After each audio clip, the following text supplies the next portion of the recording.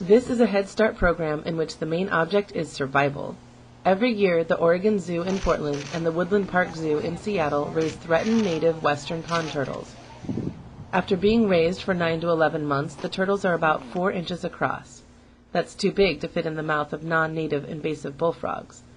Then the turtles are released at four sites on the Washington side of the Columbia River Gorge. We help get the word out about what we do at the zoo, which is raise our turtles every year. We go and collect them out in the wild and then bring them to the zoo, raise them for 10 months, make sure they're big enough so they won't be eaten. Turtles being raised at the zoos are used as a teaching tool for students to learn about the devastating effects of non-native invasive species.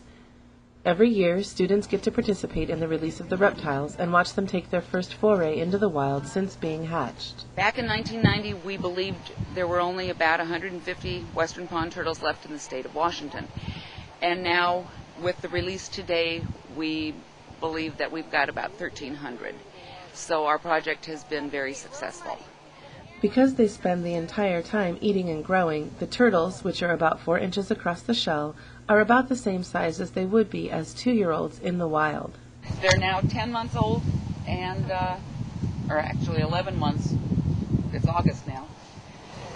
And going back into the wild where they will have to do the rest of it on their own, find their own food.